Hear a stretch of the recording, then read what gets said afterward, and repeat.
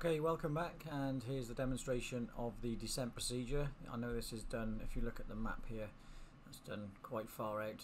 This is just purely as it's a cruise procedure to be done usually within the last half an hour before top of descent.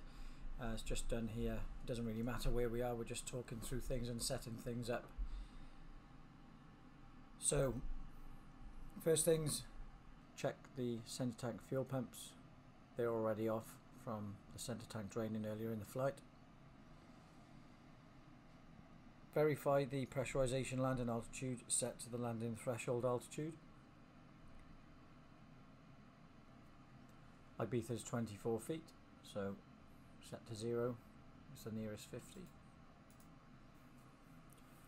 Recall and review all system annunciator lights, so can we press from either side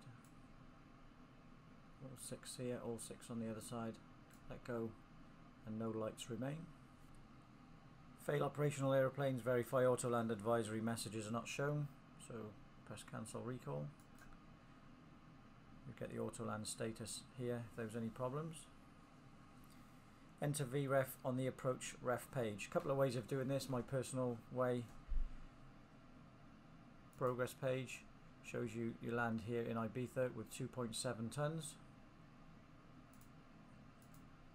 go to the perf page. So 2.7 tons to land on the zero fuel weight is 57.2 go to the approach ref 57.2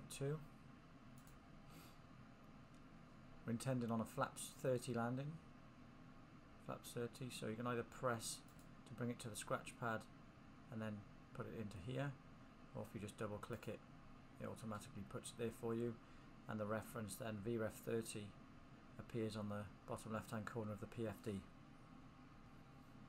Set the approach, so here's the ILS approach chart. As you can see, minima Cat 1 ILS 260 feet.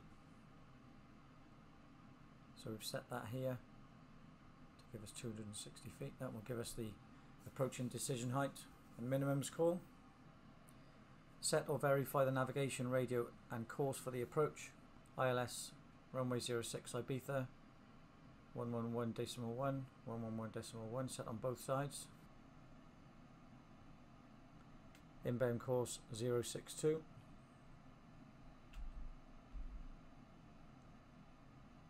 Inbound course 062. Check landing performance. So within half an hour of the descent. We obtained the most up-to-date ATIS and here's the performance.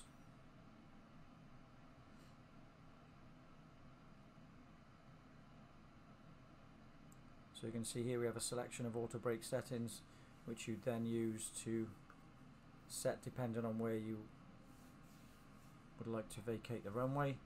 Here just for demonstration purposes we'll use auto brakes 3 do the approach briefing, so you brief your colleague. Then call for the descent checklist. So here's the descent checklist.